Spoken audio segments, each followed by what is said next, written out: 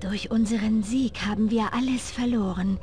Als wir ergriffen, was uns wichtig erschien, verloren wir das eigentlich Wichtige. Aber für dich gibt es eine Chance. Was für eine Chance? Das Glück des Todes, das ist mein Angebot. Äh, lehne ich leider ab. Das ich nicht annehme. Ähm, ich widerrufe übrigens meine Aussage, was die menschlichen Wächter angeht. Das hier sind die letzten Vampirwächter, definitiv. Ähm, zum einen, hat man ja gerade sehr schön gesehen, haben sie Vampirzähne. Und zum anderen ähm, sind diese Ruinen und diese Schmieden ja erstellt worden oder geschaffen worden, lange bevor die menschlichen Wächter die Säulen übernommen haben. Und äh, das wäre eher sehr fragwürdig, wie die dann hierher gekommen wären. Deswegen äh, ist mir auch erst hinterher beim Schneiden, äh, Schneiden aufgefallen, so. Ähm, jetzt müssen wir hier mal eben diesen zielsuchenden Geschossen ein bisschen ausweichen. Ja, komm schon. Wir sind denn doch schon etwas härter. In der Hoffnung, dass wir jetzt den richtigen treffen. Na komm. Weil dann lösen sich auch alle anderen Illusionen auf. So. Mag die überhaupt nicht hier. Mal gespannt, wen wir, auf jetzt, wen wir jetzt treffen. Ja, und zwei haben wir. Es sind ja acht. Neun mit dem Gleichgewicht, ist klar. Aber, ähm, acht sind es ja. Im eigentlichen Sinne, ähm, zwei haben wir schon, da zwei macht vier. Dann hätten wir ja die Hälfte. Dann müssten wir eigentlich nur noch, zwei, wenn wir dann noch zwei Schmieden treffen würden, dann hätten wir ja einmal alle Hüter getroffen. Achso, hier müssen wir im, ähm, nee. Müssen wir uns mal im richtigen umschauen, wenn wir so im, in der materiellen Welt sind. Vermute ich. Wir schauen uns trotzdem hier einmal um. Sicher ist sicher. Achso, hier ist Gitter. Ja. Nee. Noch nicht. Das hier sieht so aus, als würde es hier weitergehen. Aber mit Heimleben möchte ich nicht dem nächsten ähm, Hüter entgegentreten. Oh, hier ist ein ähm, Artefakt unterwegs. Ich höre dich, Seele.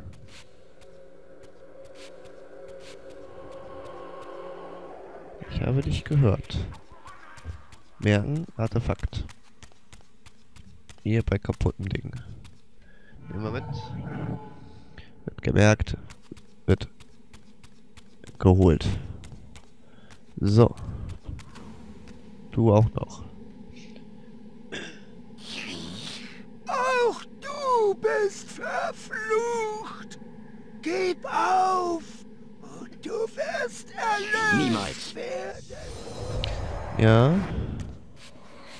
Dass die sich hier reihenweise da alle ja auch in den Selbstmord gestürzt haben, äh, unterstützt diese These ja auch noch, dass das diese Wächter sind, weil die halt eben alle davon reden, dass nur der Tod die Erlösung ist.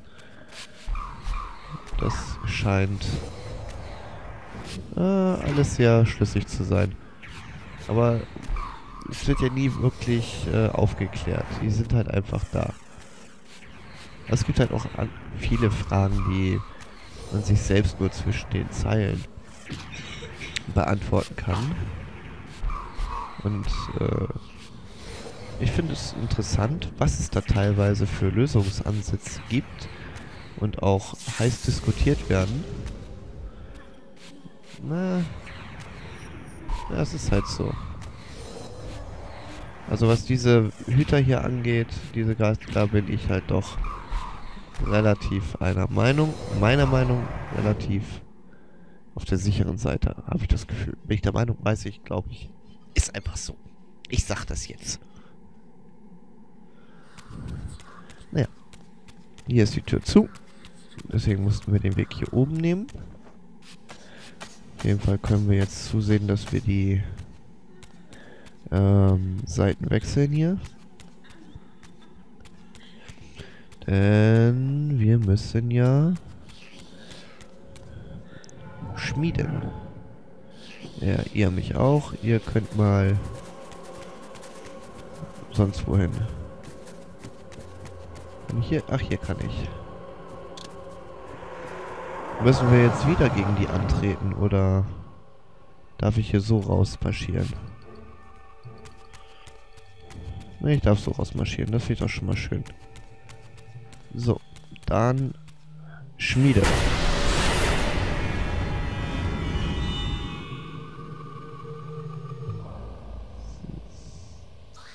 Als der Reaver die Seelen der Hüter des Geistes und der Dimension verschlang, erfüllte ihn die elementare Macht der Luft, von der beide beseelt gewesen waren. Okay. Finde ich gut. Jetzt haben wir den und das heißt, wir können jetzt nämlich... Ich darf mich wieder nicht bewegen. Wir nämlich... Sobald wir irgendwas drücken, hört dieser Luftstrahl nämlich auf. Aber wir können hier rüber. Hier passiert nichts. Wir müssen jetzt hier tatsächlich ähm, drehen. Wie so ein Bekloppter. Und äh, die richtigen Symbole finden. Wir können jetzt einfach mal einmal spaßeshalber hier alles ausprobieren. Das wird aber nicht viel bringen. Aber wir sehen hier Dunkelheit. Hm, mach ich doch mal. Was haben wir da? Oh. Hm. Licht. Hm. Wieso bringt das jetzt was? Mensch. Überraschung. Äh. Naja. Muss ich jetzt nichts zu sagen. Also, das Rätsel hat einen Schwierigkeitsgrad von 1,5 auf einer Skala von 100. Ähm, naja, aber rätsellastig ist dieser Teil sowieso nicht so wirklich. So, ne, hier ist nichts mehr drin, das weiß ich. Das weiß ich. Jetzt gehen wir mal hier weiter. Nix. Hier. Hier können wir hoch. Ähm, Luftweaver.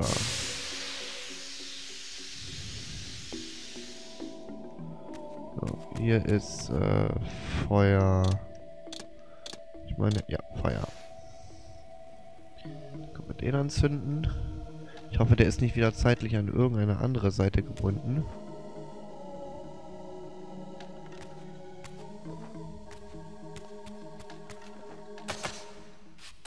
Ne? Irgendwie hängt gerade meine Seite. Doch, ja, super. Ich habe gerade einen schönen Grafikbug hier gerade. Naja, super. Egal. Es gibt wahrlich Schlimmeres. So, damit ist das Tor wieder aktiviert. Die Tür ist dort. Da ist ein Gitter, da kommen wir natürlich nicht durch irgendwo... Doch, da war das. Hier kommen wir hoch. So. Wir müssen ja noch das eine Artefakt einsammeln. Das, was wir, was wir gesehen haben. Das will ich noch mitnehmen. Auf jeden Fall. Wo? Müssen wir ja damit hin.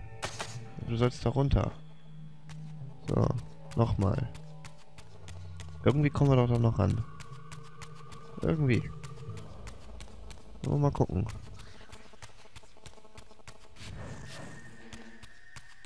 Hm. Muss doch einen Weg geben. Irgendwie muss... Ne, hier kommen wir ja schon wieder her. Das ist ja doof. Das ist doch ganz doof. Ich will das haben. Hm.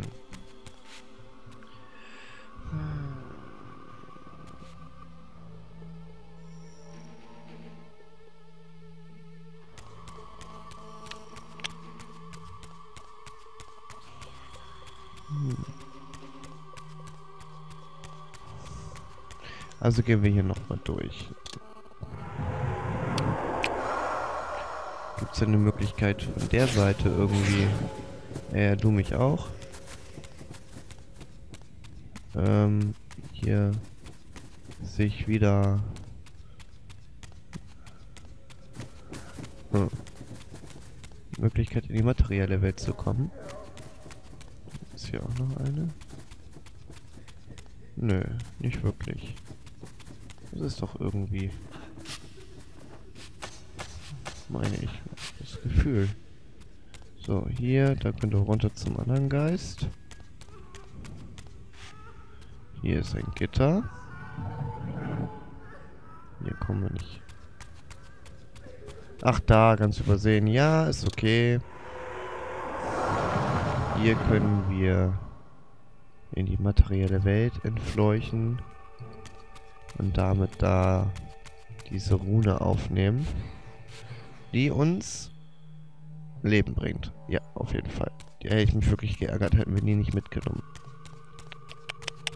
Da wäre ich, wäre ich sehr, sehr enttäuscht drüber. Naja, egal. Dann kommen wir jetzt hier wieder abhauen. Ja, geht durch. So. Lalalala. Wir hauen hier wieder ab. So. Wir müssen eigentlich mal irgendwo zwischendurch mal eben schnell unsere Leben wieder auffüllen hier. So, so. Aha. Ihr seid mal eben alle weg. Schön, dass wir das hier auch gleich am Ausgang machen können. Und besiegte Gegner auch dann einmal wegbleiben. Nur hier... Achso. Auch hier waren ja keine mehr. Naja, okay. Damit ist der Weg zu Vorador jetzt frei.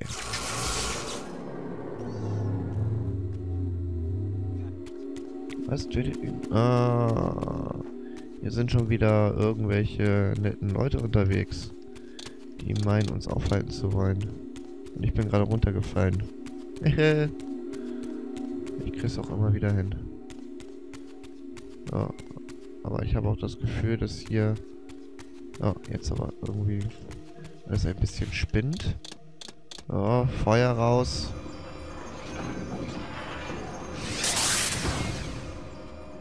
Ich werde jetzt auch versuchen, so viel wie möglich abzuhauen. Wie mir, mach wie mir machbar ist. Es sei denn natürlich sowas passiert und... Oh, ein Magier. Juhu. Welche Überraschung. Der blockiert natürlich wieder alles. Und so. Lass mal hier schnell Leben auftanken. Und dann wollen wir mal gucken, was kann denn der äh, Luftweaver Schönes für uns. Hey, ähm, ja, wir sind runtergefallen. Danke.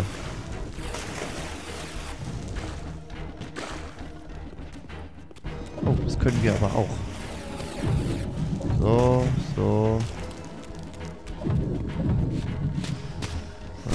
Austesten, was der Luftweaver kann. Dazu lassen wir ihn auch mal eine Seele. Geht das nicht? Nö. Okay. Anscheinend nicht. Ich habe sowieso gerade hier mit der Grafik zu kämpfen, also mit der Kameraführung. Die hängt hier gerade wie nichts. Freut mich. Ich muss gleich mal abspeichern und nochmal neu laden. Wenn der Kampf hier vorbei ist, mache ich das auch. Jetzt geht das auch. Ah, der kann also wegschleudern. Ist äh, vielleicht auch hilfreich manchmal. Oh, und den haben wir auch besiegt. Jetzt werde ich einmal schnell speichern. Und nochmal laden. Und dann sehen wir uns hier gleich an der Stelle wieder.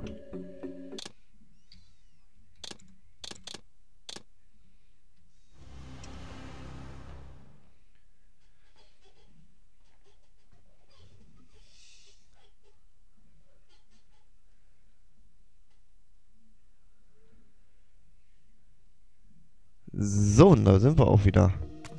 Ich hoffe jetzt, dass die Kameraführung mich jetzt äh, etwas weniger im Stich lässt. Und mir die Chance gibt, hier auch etwas im Kampf zu sehen.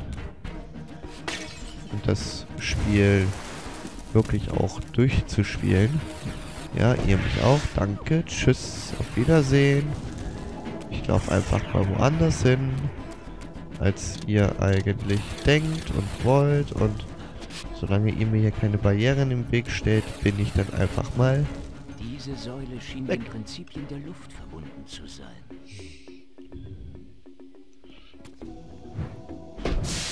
und tschüss.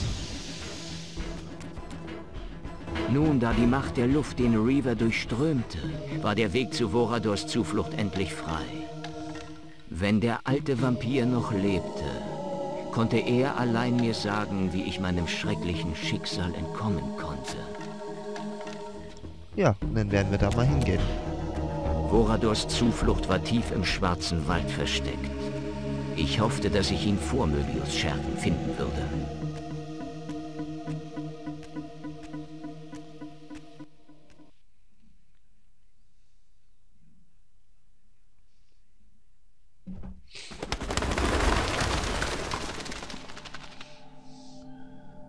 Und so kam ich zur Zitadelle meiner Ahnen. Seit Äonen war sie nun schon verlassen. Vielleicht ruhte hier noch immer das Wissen ihrer Erbauer. Hier, so Möbius, würde ich den Beweis finden, dass Raziel nicht war, wofür ich ihn hielt oder was ich hoffte. Doch als er mich hierher schickte, hatte mir Möbius wohl unwissentlich einen unerwarteten Dienst erwiesen. Denn es war meine Bestimmung, nicht Raziels. Ich war der Hüter des Gleichgewichts, dessen Geheimnis ich hier ergründen wollte. Ja, wir werden die Geister hier eben einmal ganz schnell erledigen. Denn äh, die stören mich jetzt gerade ein bisschen. Und dann werde ich nämlich hier auch erstmal wieder eine kurze Pause einlegen. Ich weiß, es war jetzt eine sehr kurze Aufnahmerunde. Davon kriegt ihr natürlich immer nicht ganz so viel mit.